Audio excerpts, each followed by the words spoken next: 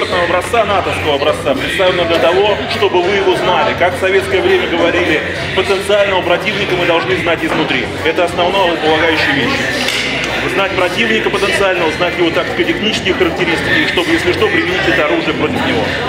Такая совсем не детская экскурсия проходила в стенах обычного, вполне мирного дома культуры в Покровском районе. Это лишь часть нового проекта «Патриотический марш». Клубы и объединения приезжают, приезжают в муниципальные районы области и встречаются с молодежью в разных форматах и рассказывают о своей работе. То есть привлекают молодежь к работе в общественных организациях, поисковых организациях, военно-исторических клубах. Первыми участниками патриотического марша стали клубы «Морпехи», «Десантник» и Лига военно-патриотических объединений «Бастион». Решили, почему таким образом сделать. Все-таки как бы в городе мы больше работаем в этом направлении, область у нас остается менее охваченной. Поэтому этот патриотический марш таким образом показать все, что мы наработали по военной патриотической работе, показать здесь, в области, именно в Покровске.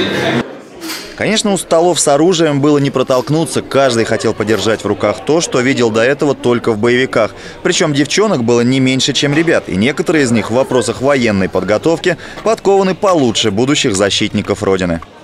А с закрытыми глазами можешь? Ну, не знаю, попробовать можно.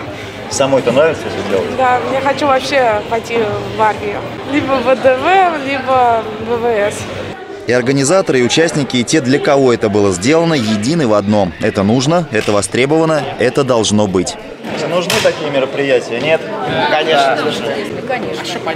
Для того, чтобы мы знали и чтобы подготавливались как бы к, к дальнейшему обучению в армии. Не случайно мы решили провести такое патриотическое э, мероприятие.